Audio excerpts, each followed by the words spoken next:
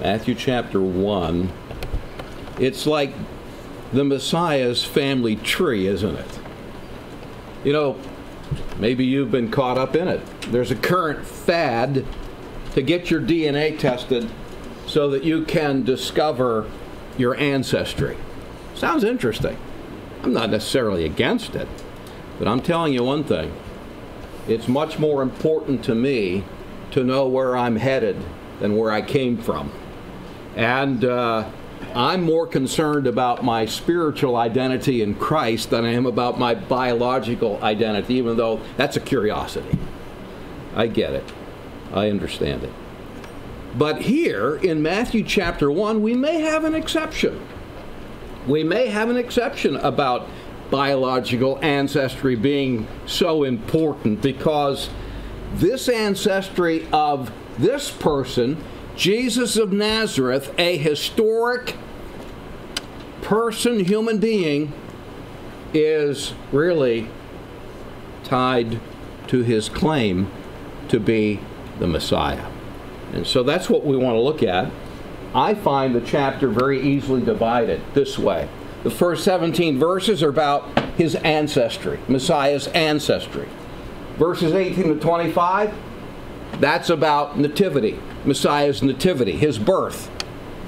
So we'll look at it that way, but, but we'll do so after we pray. Once again, Heavenly Father, we pause to bow to you because we're constantly reminded just how much we need you and how that nothing can be accomplished without your spirit working. You must not only anoint the speaker, but you must, Spirit of God, anoint the listener. That there might be that uh, connection. And that, again, your word would have such deep penetration into the soul and spirit, and thus work that transforming change that you alone can do in the spiritual heart of people. And we pray that this will happen, all to the exaltation and magnification of the Lord Jesus. It's in His name that we pray this. Amen. So let's begin by looking at his ancestry in the first uh, 17 verses. And uh, of course, need I remind you that uh, genealogy is very important to Jewish people to prove their tribal identity. Because to prove your tribal identity as a Jewish person involves your right then to a certain inheritance. And so it's, it's necessary for anyone that claims to be Messiah to prove that you are a direct descendant of King David. Because it was to King David that God promised that he would bring the Messiah from and would establish through the Messiah a son of David, a descendant of David, a kingdom that will never end an eternal kingdom.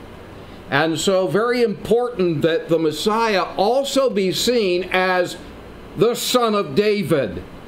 And Matthew, of course, written to Jewish people predominantly, presents the family tree of Jesus of Nazareth, but he presents it through his legally adopted father, Joseph. And in doing so, he reveals the Messiah's true identity that establishes Jesus' rights to David's throne. And I might say this currently, Messiah Jesus is the only person that is able to prove the right to the throne of David through a genealogical record. Because all the other Jewish records of genealogy that would establish this had been destroyed by the Romans in AD 70 when the temple was destroyed. So, this is very important that the Holy Spirit of God has seen fit to inspire Matthew as he did to include this genealogical record of Jesus of Nazareth, Israel's Messiah. And I want you to see, as we look at this ancestry, I want you to see it first of all from a historical standpoint.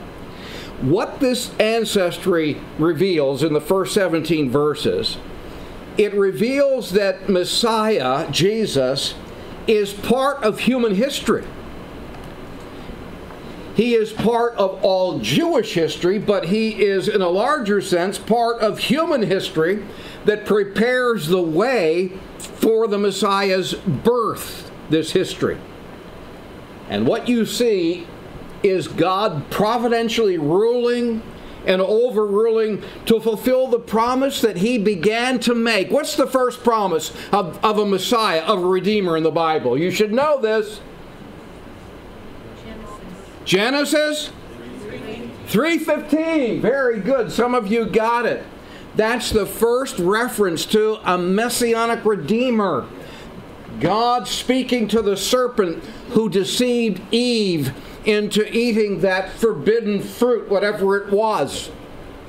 He said, Through her seed, I will crush the head of the serpent, and the serpent will bruise her seed's heel. That's the first indication of Messiah Jesus being sent into this world. And as you continue reading in the book of Genesis, you get to chapter 22 and verse 18, it becomes very clear that this, this Redeemer, this Messiah, is a son of Abraham. He comes through Abraham.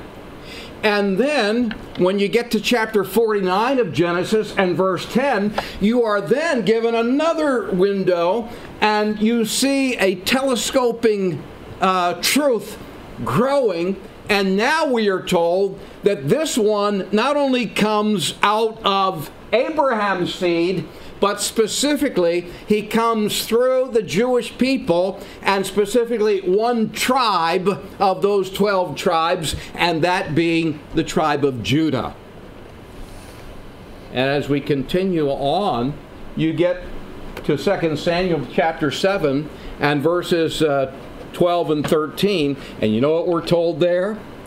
That the Messiah that is promised first in Genesis 3:15 that will come through Abraham that will come through the tribe of Judah the Jewish people will also come through David and there is a promise that God gives King David in 2 Samuel 7 that says that his kingdom, his dynasty, will last forever. Well, is the kingdom of, of David is it uh, in existence today?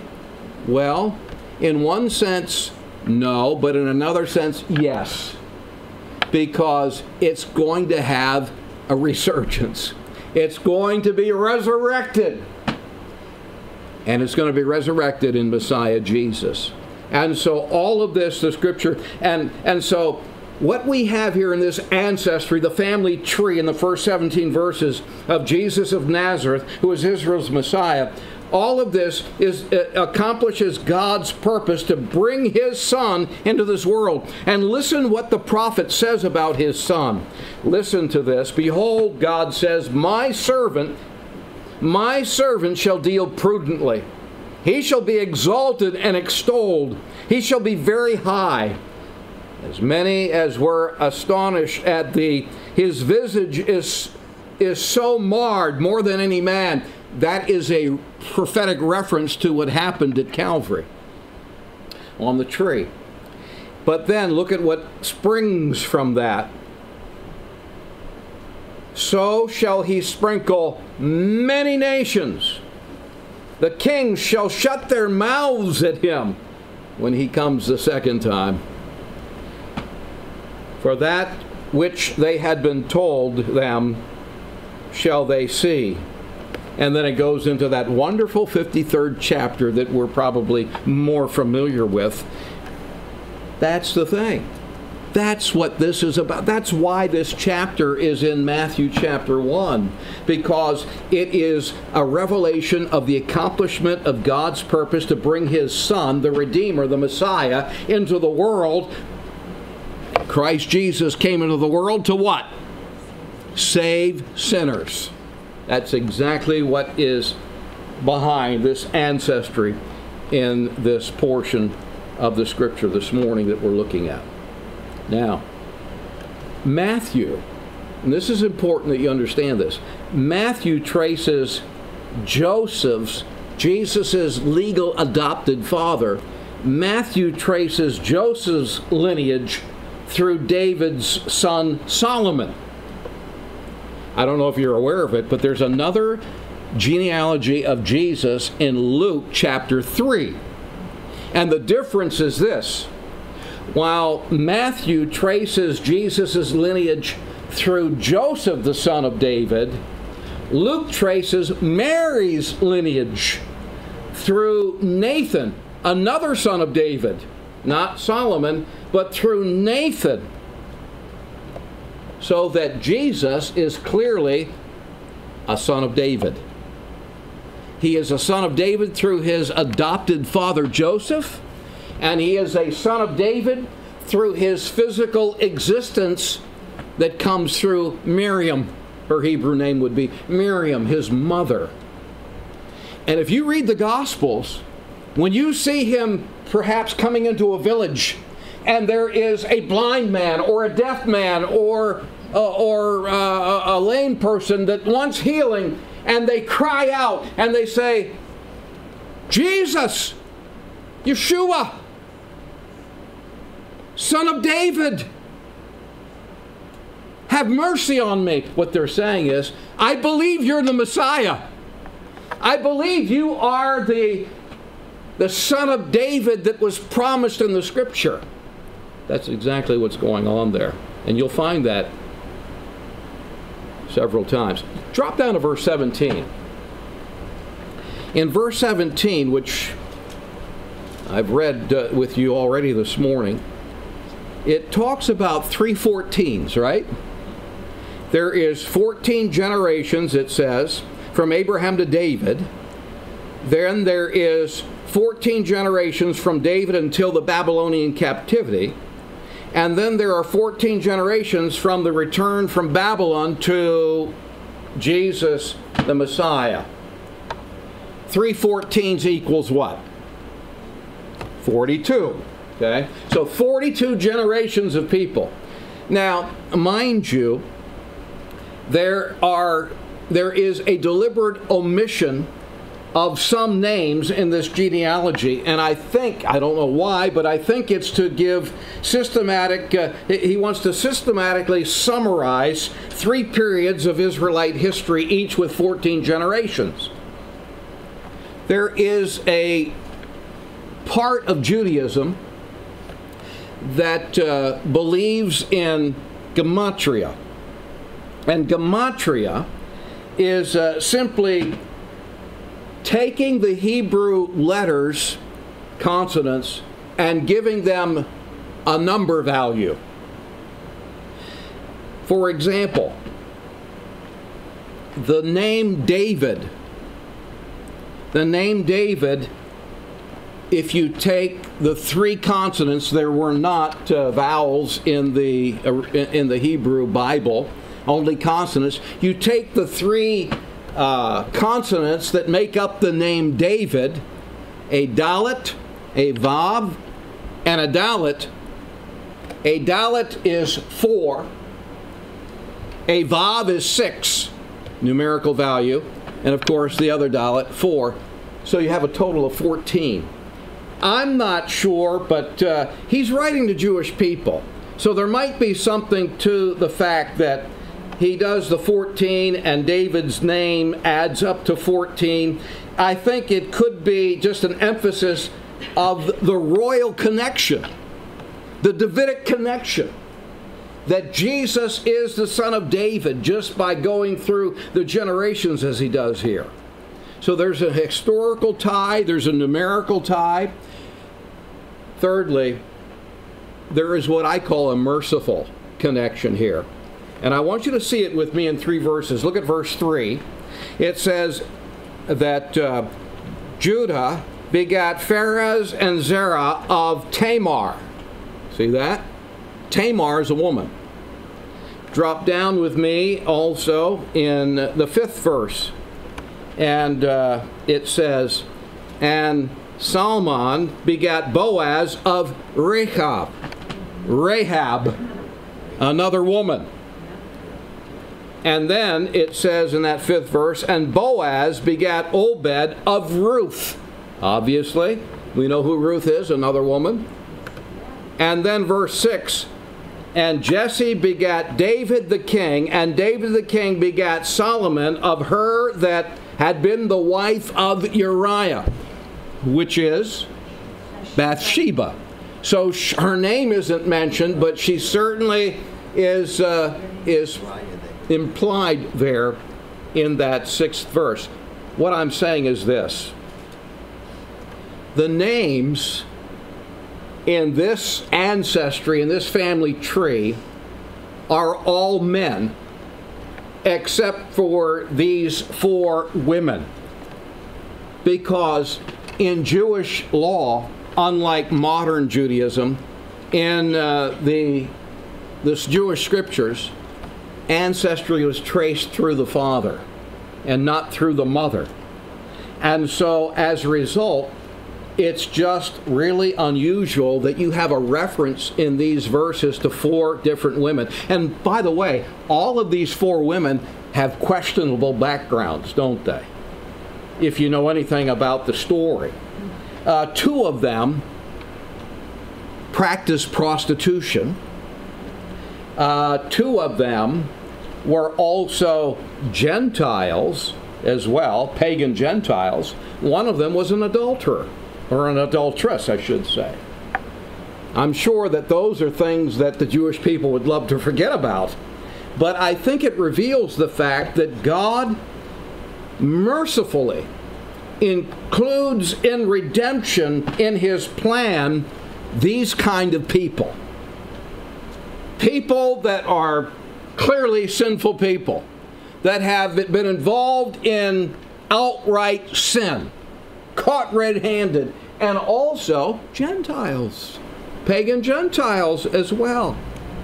I think it perhaps may also, and I, I don't know this, but I'm thinking about this, maybe it's preparing the way for Miriam, we call her Mary, Miriam's prominence uh, that will culminate, of course, in the line of Messiah and it would tend to humble and hush up her false accusers because look at the skeletons that are already in your closet, right? I did want to point out Ruth. I want you to see that in the fifth verse. Ruth. Because today the Jewish people are celebrating Shavuot. Shavuos. And as a result of that, they will read in the synagogue the book of Ruth. They believe that uh, that, that took place during the, the, the time of the celebration of Shavuot, which we call Pentecost. By the way, the Jewish people traditionally believe that it was at uh, Shavuot that God gave Moses the law on Mount Sinai. Well, that was really the wedding of God and his people. That was a wedding ceremony, you might say, under, under the huppah there on Mount, Sinai, uh, on Mount Sinai. And we know how Boaz, a Jewish man, was wedded to a formerly pagan Gentile woman, Ruth. And I think it's very interesting because Shavuos is also the time when the Holy Spirit descended in Acts chapter 2, and he did so not only to fill believers with his Spirit, but also to bring Jew and Gentile together as his bride, right? And so I felt it was fitting that we should make that connection because of Ruth's name here in Matthew chapter 1, and this being uh, that very celebration Paul says it this way He has taken two that were formerly enemies, and he has made them one new man. He's made them his bride, right? So merciful. But there's a, a there is something that I believe is very critical in this ancestry, and I clearly don't want you to miss this. So wake up and listen to this one. Okay, you ready? Chapter 1, verse 16, it says, and, and look at how look at how it reads. I mean, all the way down uh, from verse 2 down to verse 16, you'll find over and over again that this man begat this man as his son. This man begat this man as his son. Get to verse 16 and look at it changes a little. And Jacob begat Joseph. That's the adopted legal father of Jesus. Jacob begat Joseph, the husband of Mary, and notice it says, of whom was born Jesus, who is called Messiah, who is called, this is critical. This is an implication of the virgin birth. Because what it's saying is not that Joseph begat Jesus, it had nothing to do with Joseph at all, but rather the conception was her seed, the seed of the woman. Genesis 3:15. It was her seed. It says of whom, and that uh, that phrase of whom is in a feminine tense. It's a feminine tense which means it cannot, it cannot, it is not referring to Joseph, it's referring to, to Miriam. He was clearly conceived from the seed of a woman, which is totally unnatural, which is supernatural. Joseph is simply the legal father of Jesus. It is through Joseph in Matthew 1 that Jesus is shown to be a son of David but G- and have uh, the right to David's throne. And uh, but Jesus was not a physical descendant of Joseph. That's very important because, incidentally, uh, there is a particular king that is mentioned in verse 11, Jeconias, who, according to Jeremiah 22, verse 30, had a curse placed upon him, and none of his offspring was to ever sit on the throne of David. And they didn't. But Jesus didn't come through the physical descendancy of uh, Jeconiah. He came through the physical descendancy of Mary, as Luke 3 brings out. So you see how specific, how inspired the Word of God is, how wonderful it is. All right. That's the ancestry, verses 1 to 17. The second part is what I call the nativity, and that is it brings out in verses 18 to 25 the absolute unique birth of Jesus of Nazareth. It is a birth that is totally distinct from any other human birth that has ever taken place on this planet. You understand that from square one. This nativity is an absolutely unique birth. Now, look at with me verses 18 and 19. It says, Now the birth of Jesus Messiah was on this wise, happened like this.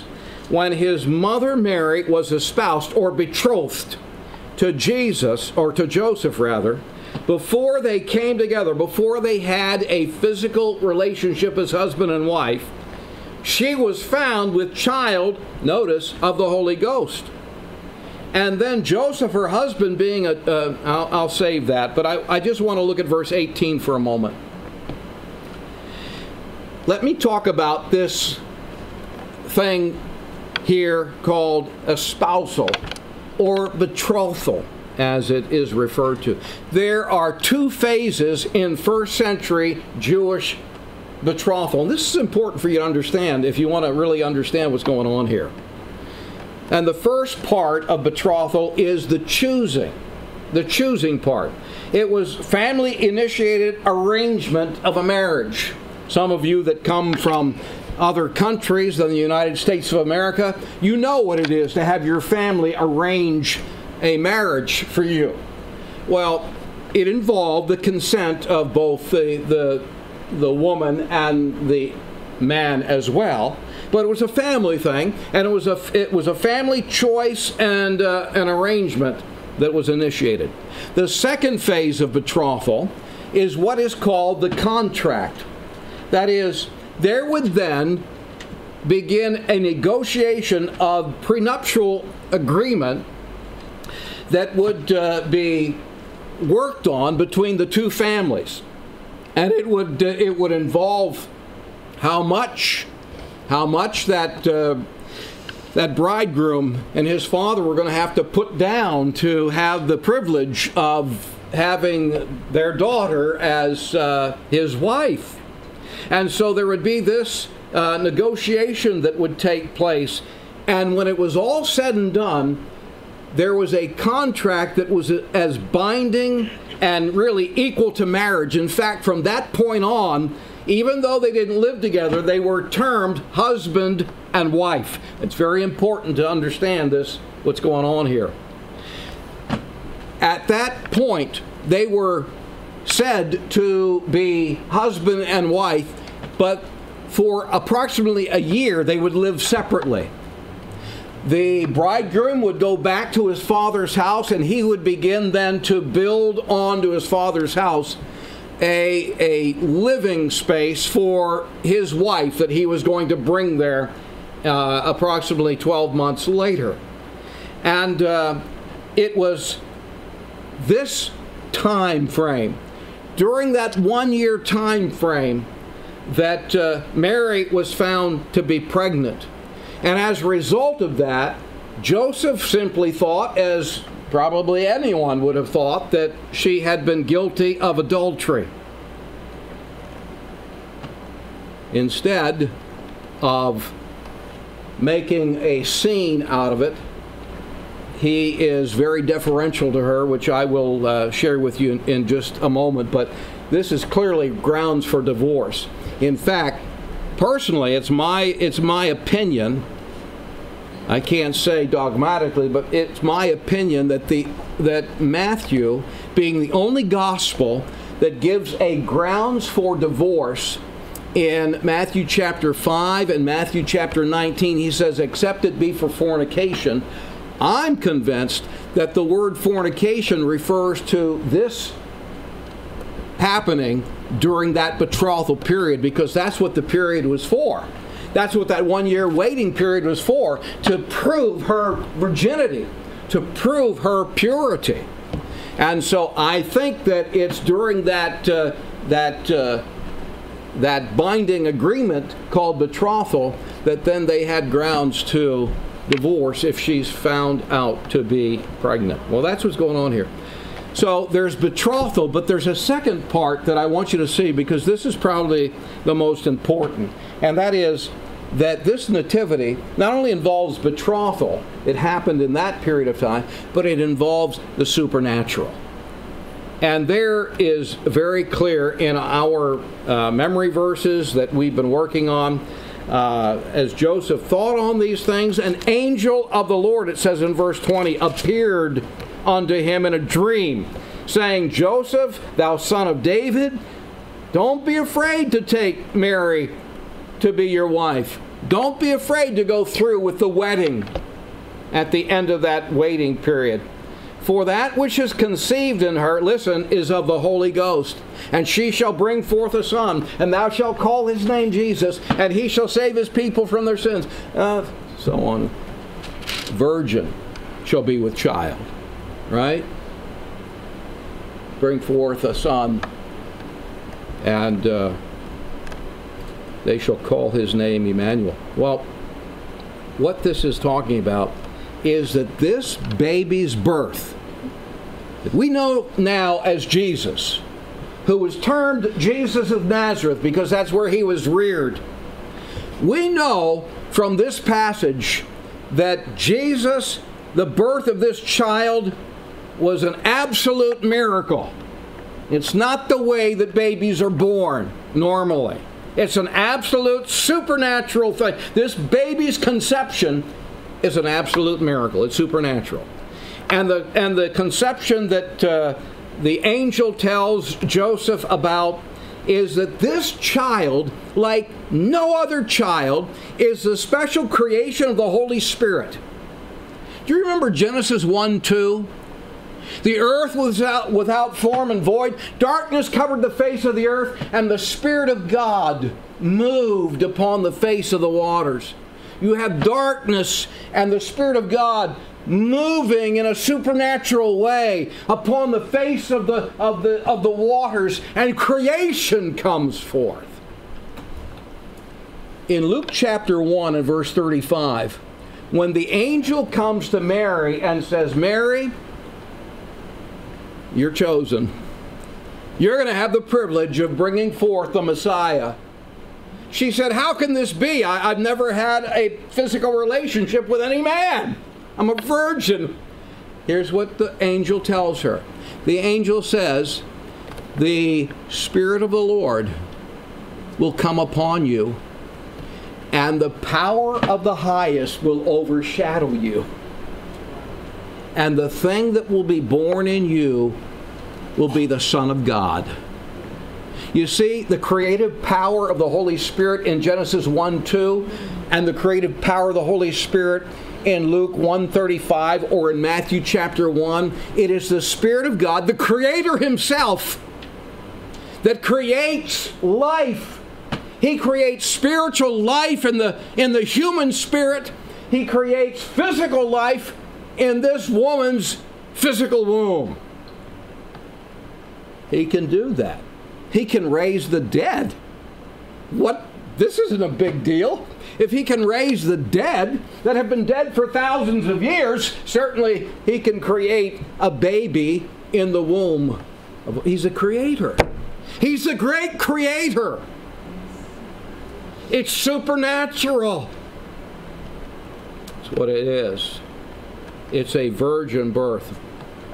In fact, it says in, in Matthew 1 and in that 23rd verse, which is part of your memory work, it says, A virgin shall. It's a quote from the prophet Isaiah, chapter 7, verse 14. But the word for virgin here in Matthew 123 is a word, listen to me, that in the original language, Greek language that our New Testament was written in, that word never referred to a young woman, always only to a virgin. In fact, the Greeks built a building and they called it the Parthenon. The word here for virgin is Parthenos. It's a virgin. And so it's a supernatural birth that was anticipated. And that's why it's quoted in verse 23. It was anticipated by the prophet Isaiah. Another thing about this supernatural, not only conception, but supernatural in the area of salvation, our memory verse 21. Thou shalt call his name Jesus, for he shall save his people from their sins. The, the, the name Jesus, Yeshua in Hebrew, is a contraction of the name Yehoshua or Joshua, which means God is salvation. And so, what uh, we are to see from this is the name Jesus is an emphasis on what Messiah will do, on what he does. He has come as Savior. He has come to deliver people from sin. What do Saviors do? They're deliverers. What do we need to be delivered from? Israel needs to be delivered from. Gentile people need to be delivered from sin. He's not a Savior unless you allow Him to deliver you from sin. And when He delivers you from sin, it's a total deliverance. He delivers you from the penalty of sin, which is death and hell for all eternity. He delivers you from the power of sin, which enables you to live a holy and victorious life here and now. And one day He will deliver you from the very presence and possibility of ever sinning again when He comes for you. And He makes you he gives you a resurrection glorified body. He shall save his people from their sins, Israel, but anyone who he's the Savior of the world is exactly what we're told. But he comes to deliver from sin. Hey, if you don't want to be delivered from sin, then you don't want a Savior. If you don't think that you're a big enough sinner to need deliverance from sin, then this isn't for you. But if you are sinking under the guilt and load and burden of your sin, I have great news for you. Thou shalt call his name Jesus, Savior, for he shall save his people from their sins. You got sins that you need to be saved from? You got sins that you need to be delivered from. You have sin that has you in an iron grip that you're in bondage to. All of that can be broken through Jesus. He's the Savior. And then one other thing. In verse 23, this is supernatural. The conception, the fact that uh, uh, of the salvation that he brings is a supernatural thing. No man can do that on his own. Jesus has to do it for us. Hey, if Jesus doesn't save us, if we can save ourselves, then his death on that tree was for nothing. It was unnecessary. That horrible death was unnecessary if we think we can do it on our own. Third thing about him being supernatural in these verses, verse 23, his identification. He's called Emmanuel. While salvation emphasizes what Jesus does, Emmanuel emphasizes who Jesus is. He is God. That's glorious. He's God. He's the God of glory. This little baby is really the God of glory that is masked like some of your faces. He's the God of glory. He is God with us. He's the God of grace. There's only one way that God can ever dwell with human beings, and that is on the basis of His grace. That is, that we can't ever deserve. It can't be earned. It comes of His free will and love toward undeserving sinners. Emmanuel, God with us. Well, that brings us down really to the last two verses of this chapter. And I want to talk about the Nativity and involve Joseph in this because basically 18 to 25 is all about his interaction with God's angel, God's messenger. And uh, I love the way that Joseph responds. In verses 24 and 25, look at it with me. Then Joseph, being raised from sleep, did as the angel of the Lord had bidden him, and he took unto him his wife and he knew her not till she had brought forth her firstborn son and called his name Jesus, exactly what he was told to call him. Call his name Jesus, for he shall save his people from their sins. So, the nativity here, you see betrothal, you see the supernatural, but I see in Joseph uh, that he's very deferential. That is, he defers to God's will. He is willing to be part of God's plan despite the personal cost it was to him. And it was costly. It, no, notice that it says, if we can jump up a moment to verse 19, Joseph, her husband, being a just man. You know what a just man is? A moral man. He was a, a moral man he would not have had anything to do with premarital uh, sex or fornication. He was a moral, he was a just man. He was an ethical man. He was a fair and reasonable man. He was a good man. He was just. He was living right according to the Word of God, not only before God, but before men as well.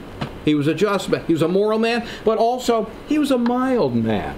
Look at uh, verse 19 again. It says, He wasn't willing to make a public example of Mary, and so he determined to put her away privately.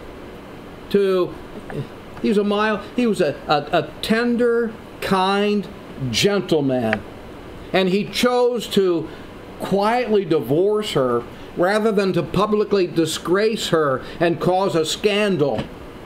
Can you imagine the shock and the agonizing perplexity that would have gripped this man's thinking when he found out that his, his wife that he was betrothed to was pregnant. He knew he wasn't the father. But he balanced, he balanced his justice with a wounded yet tender love. It reminds me of God. The Bible says in Psalm 85 and verse 10 that God's truth and mercy are met together, that God's righteousness and, uh, and God's peace have kissed one another. God's both holy and yet at the same time he's loving. Here's a man that is right, he's just, he's moral, he wants to do the right thing, but at the same time, he is a compassionate, merciful, tender-hearted man. And so he, he determines he's going to do the right thing, but he's not going to he's not going to make it miserable for her. He's a meek man. I read verses 24 and 25. There's where I really see Joseph's meekness. And by the way, do not ever, do not ever confuse meekness with weakness. He's a very strong man. He's a just man. But he's a meek man. And a meek man, I mean, he's a cooperative man. He cooperates with unquestioning submission to God and completely compliant to the Word of God. When God reveals to him in this special revelation through a dream, he doesn't hesitate. He completely complies with God's Word, God's revelation to him. And it says that he did not have a physical relationship with her even after he brought her into the home uh, that he constructed for them to live in as a married couple until she had brought forth this babe, Jesus. Which, by the way, does not mean that Mary was a perpetual virgin. It just means that they didn't have relations until after Jesus was born. Simple as that. Interesting. I, I made a comparison between the the Old uh, Testament book of Genesis, the book of beginnings, as you, uh, if you will. The Old Testament begins with the generations of the world, but the New Testament here, Matthew 1, begins with the book of the generation of him who made the world. Messiah is Jewish. There's no doubt about it. He's a Jewish male. He's also the Son of God. He's miraculously conceived in David's lineage with all the rights to David's throne. What a story. I wonder how the cable news would spin this. I'm sure it wouldn't be straight. Let me tell you something. Years ago, when we had uh, when we had teams that would come here for weeks during the summer, Shalom mission teams, we would do various things with these young men and women. In the beginning, it was all young men, and I can remember one one year we took them to Schneerson's grave. You know who Schneerson is? Yeah, he was a, a Lubavitch Rebbe, rabbi that was highly revered by the Lubavitch as they thought the Messiah. And in fact, they still do. He's buried over in, in the area of Rosedale, Queens. But uh, we went over there, we saw his grave, and uh, there are Lubavitch there all the time. And you know what? Seriously, they're waiting for his resurrection. He's Messiah. Well, they, they're going to wait a long time. You know that there have been 50 plus messiahs in Jewish history, but none of them can prove that they're a messiah. None of them can uh, uh, can can pos- uh, possess the credentials to prove it, with one exception, and that's Messiah Jesus. By the way, I've also been in Israel to the Garden Tomb. And I understand, I understand that the Garden Tomb is probably not the location of the actual tomb of Jesus. And you know what?